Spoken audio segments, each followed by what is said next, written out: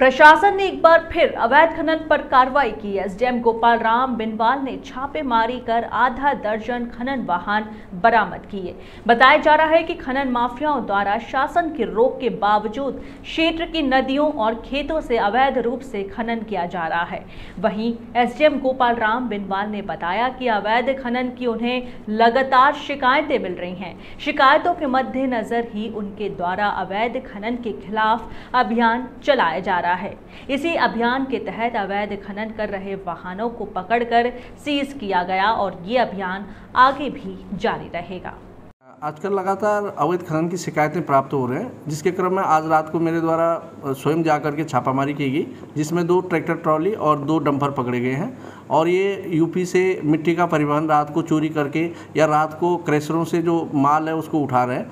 तो इस संबंध में लगातार अभियान चलाया जाएगा, अवैध खनन कोई भी व्यक्ति करेगा तो उसको किसी भी प्रकार की कोई छूट नहीं दी जाएगी और लगातार इस पर कार्रवाई की जाएगी।